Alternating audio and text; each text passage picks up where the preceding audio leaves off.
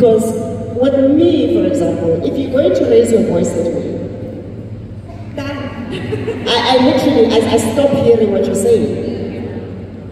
But as grown folks, we will have issues, we will have clashes, but let's address them as adults. If we can sit and look each other in the eye and you tell me what your problem is, and I listen until you are done, and when it's my turn to speak, I tell you what my problem is with what your problem is, if I have a problem with it. And somewhere along the line, sometimes we just have to agree to disagree. That's okay. But when you're talking and you, you literally hear, listening to each other and hearing each other, trust me, it's very easy to come to an understanding to say, okay, no, it was a misunderstanding. Or, but when somebody is screaming, the other one will never comprehend. They will never comprehend what you're trying to say. So yeah, for me, just managing your temperament is like number one. Number one It's very important. You come up, I know you're a lover, um, and I, I think every time you speak about your sister, you always mention um, how much you love her and the way you speak about the people in your life. Um, you, you just ooze love.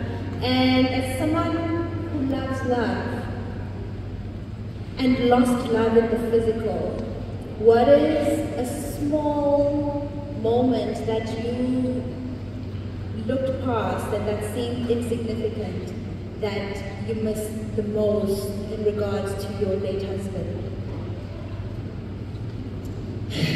Sho. Um, nothing with Sho was a small moment, eh? I think we, we were just so big on life, the both of us. I think we celebrated life every day. Um, and every single moment with him was meaningful. Never small. Nothing small about, you know, my encounter with my husband.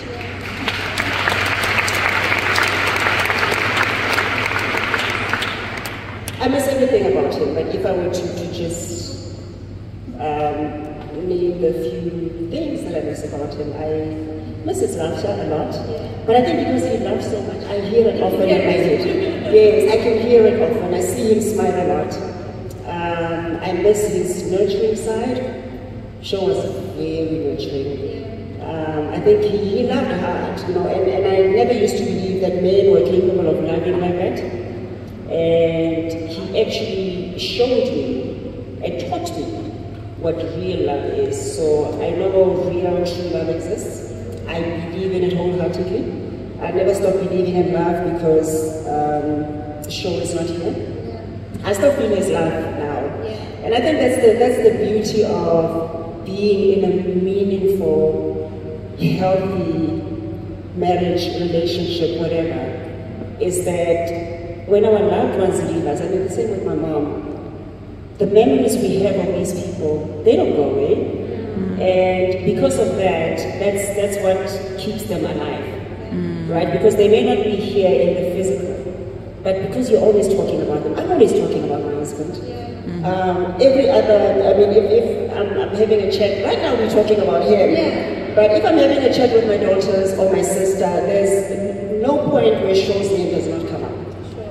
Um, the other day, Alicia had ordered something and then she goes, Oh, Dad! And she bursts out laughing. And I go, What? And I'm like, Dad would have been on my case about this. So, so almost like he's still, yeah, everything is like Dad this, Dad that. And I love that because we are not trying to forget him.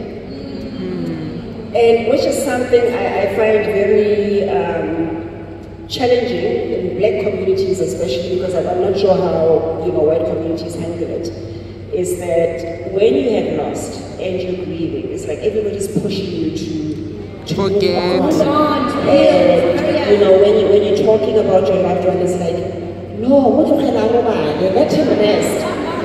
But you, the man is resting. the man is resting. But he is a part of my life, whether I like it or not. I will carry him to the grave. Till the day that God calls me, he will always be a part of my life. You don't spend 20 years with someone to just let them rest. He's resting. the 20 years that, I, that I've spent with him, what are they supposed to mean to me? Like I'm just supposed to now forget and act like it's, it never happened because I'm supposed to let him rest. I can't let Sho do anything. God made that decision already. Hmm. He's resting. So my memories of him are all I have. And they, they are what I cherish because that's what that's his gift to me. So yeah, that's that's that's what's keeping us going. Um, we were very close. We still are very close because he makes sure that he stays close. Also, you know, from the other side, I mean, we feel him. Um, we still feel his love. My mom, we still feel my mom's love. So I think what I would like to impart from this this specific topic um, to everybody here who still has someone. You're not loving the people in your life, man. Like I said, we take love for granted or we take the people in our lives for granted because we feel like they will always be here. Life is very unpredictable and life is short. And since I went through my own loss journey, I have encountered a lot of people who have also suffered loss. I mean, loss is not exclusive to me. Hmm. But what's been interest, interesting to me is to see how different people deal with it and how different people navigate it and how different people actually struggle with it. Not to say I'm not struggling. I'm, I'm it's grief is not linear, right? One moment you're okay, the next moment you wake up and you think, what? And it just hits you like it's fresh. And that's okay also. You need to allow yourself those moments. But from my conversations with other women, especially, um, I think the ones that I find struggle the most is those that didn't have peace with the person that has departed, whether it was a parent or a boyfriend or a husband or whatever. Those that didn't have peace struggle to move on because it's almost like they don't have closure. And they're always looking, you know, there's regret. They always just say, if only that day or oh, if only that day I hadn't raised my voice at them. And so I think where I'm going with this is it's important to. My husband used to say to me, we don't go to bed angry.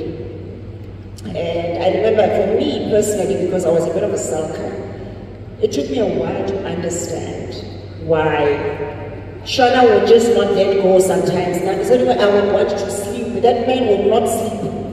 We will talk until he is happy that we have spoken and we have resolved the situation.